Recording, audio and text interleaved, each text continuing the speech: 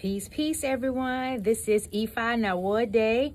Uh, we doing tea talk on vir- for virtual Thursdays.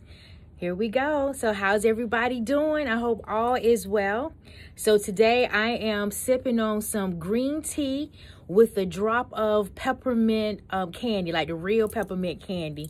Um, and so that's what I'm drinking on today. Now, green tea definitely has a lot of great uh, medicinal benefits. One of them is uh, it's uh, it helps with weight release. Um, appetite suppressant. Uh, when you look at some of the traditional um, weight loss products, they have green tea extract in it. So um, definitely um, check it out and do a little bit of research. Right? It definitely has some great benefits. So let's say, so let's get the ball rolling. So today, um, I just wanted to talk about, let's see, um, like you are the pot.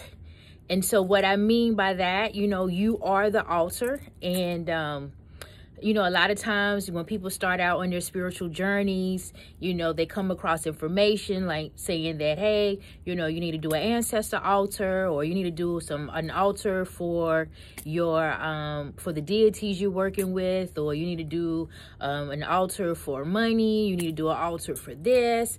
And you know what? That's all fine and dandy. It really, really is, you know, because it is a tool. It's more or less a vessel. It is a bridge between you and the spirit spirit world. So no problem. Um, but sometimes if you don't have an altar available, or if you're in a position where you can't utilize an altar, guess what?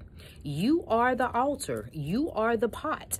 And um, and it's okay um, to do your spiritual practices um, without having a physical altar or um, or any type of tools because you are the tool.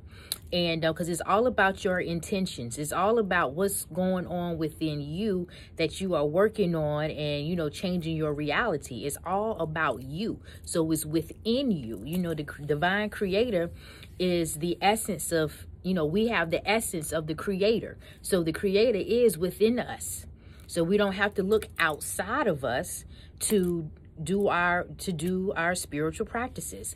You know even utilizing the energies of the different moon phases. You know you don't necessarily have to do a full-fledged ritual. Actually everything is within.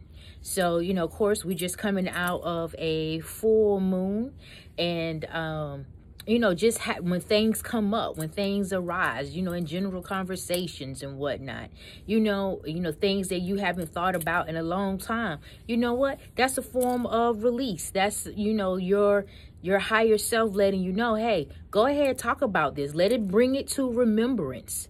You know, acknowledge what it is. You know, accept it. Is identify how it has um, played in your life, and then you know what?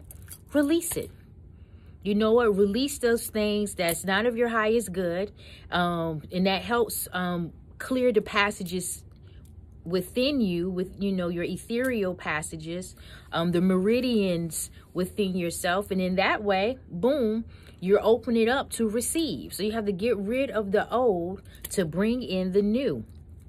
And um and you know I like, you know, that's something that you can apply across the board. But always remember, you are the pot. You are the altar. Um, you don't have to have these external things to commune with the Most High. Everything is within. You know, when you're working on yourself, it's within. You do not have to go look without. And again, if you do have altars, it's a-okay. Trust and believe. It is okay. And uh, that's one of the beautiful things about a spiritual journey, you know, is what you make it to be. You know, you don't have anyone standing over you saying, well, you have to do this and you have to do that and you can't do this and you can't do that. No, it's what is for you. And uh, and it's quite all right. You know, your individual journey is just that, your individual journey. And it's always great to fellowship with like-minded people who are on their spiritual journey as well.